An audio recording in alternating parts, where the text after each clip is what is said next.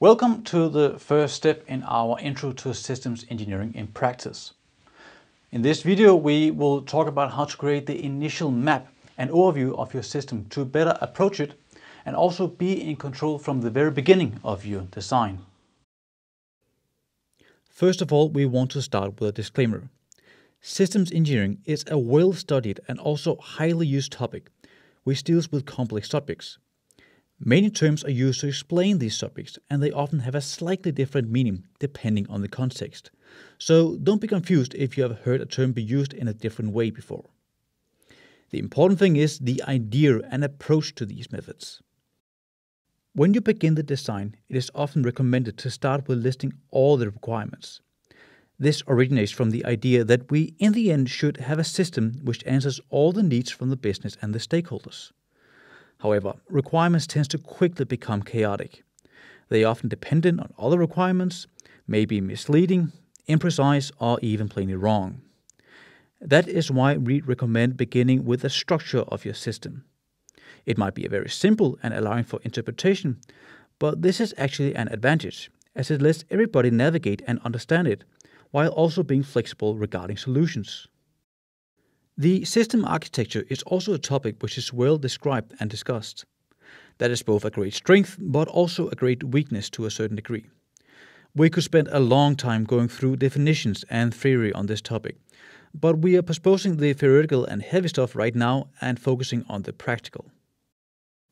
In our approach, the system architecture represents an attempt to express a conception of a system to share with others. You should not focus on making a complete model of your system at this stage, but rather the common anchor point for the rest of your design.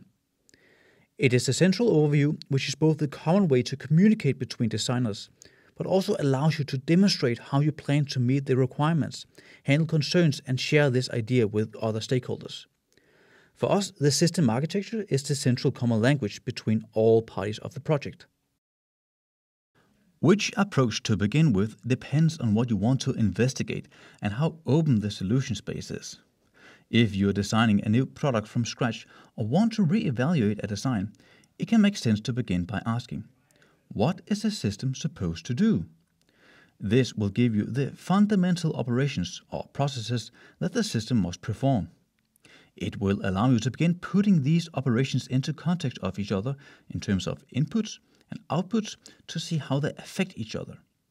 We will call this the operational architecture, and it is sometimes also referred to as the functional architecture or the process structure. When you have a good overview on the behavior of your system, you will need to ask yourself which system should perform these operations and how should they work together to achieve this.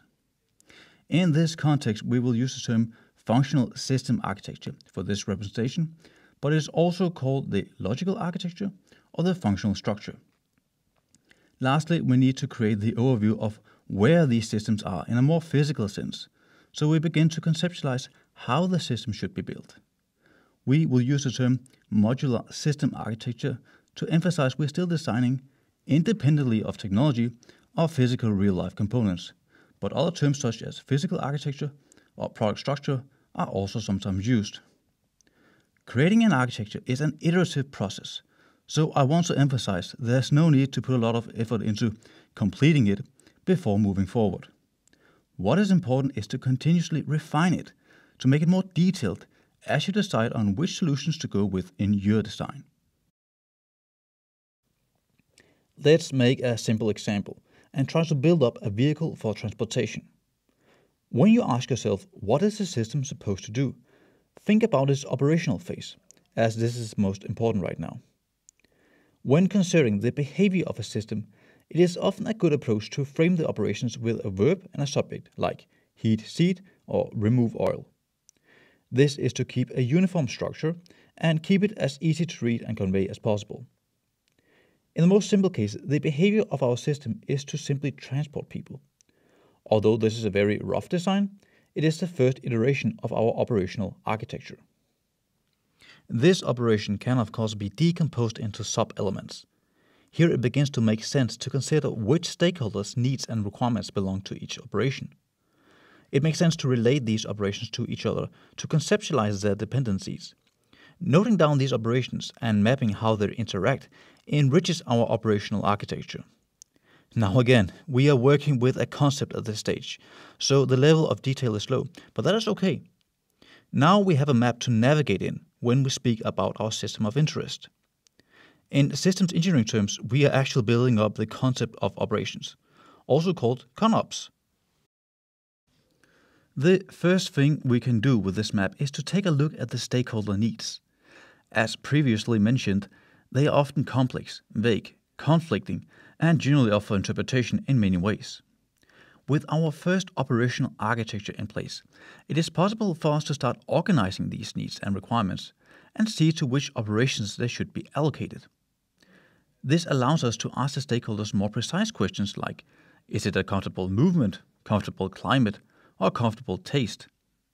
By going back to the stakeholders and verifying our understanding of their needs, early mistakes are captured and corrected. In this case, we discover early on that the control climate operation was missing, so we added to the architecture. This small detail potentially saved a lot of time and resources. We have illustrated the operations here in a visual way, so we consider them independently and without order.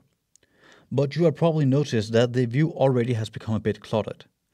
A mistake which many fall into is developing an architecture which is so rich in detail that the human mind loses overview. This is not wrong, it is just not beneficial for the project as such. Remember, overview is the key. If we lose that, then we are bound to miss risks and issues. To maintain the overview of our architecture, it is beneficial to structure our objects in a hierarchical structure, like a tree with branches. A hierarchical structure is better to keep the overview for our designers and stakeholders. It is easy to update, understand, and review because you can navigate between the high level view and the very detailed view if necessary. Starting with the operational architecture and mapping their interrelations allows for very wide solution space to really investigate the best approach to meet demands from the business and the stakeholders. From there, we can mature functional systems which answers the needs we have mapped in the operational architecture. When the first iteration of the functional architecture is in place, we can begin thinking about where the functions are realized and how the system should be put together. Maybe we are clever in our design and can allocate multiple functions to a single module, or maybe we need a system to have built-in redundancy for safety reasons. It is important to note here that requirements can feed into all three types of architectures, and sometimes the choice of module or function can create a new requirement which has to be considered in one of the other architectures. The crucial thing here is that as the structures are being matured and more detailed, all requirements are linked to some node in the architecture, and that all nodes in the architecture should be governed by a requirement, whether that is directly or indirectly. Requirements are a topic in of itself, and we'll go into further details with that later on. Now, this high level approach is very good at exploring different kinds of viable designs to land at a good solution which satisfies stakeholder requirements.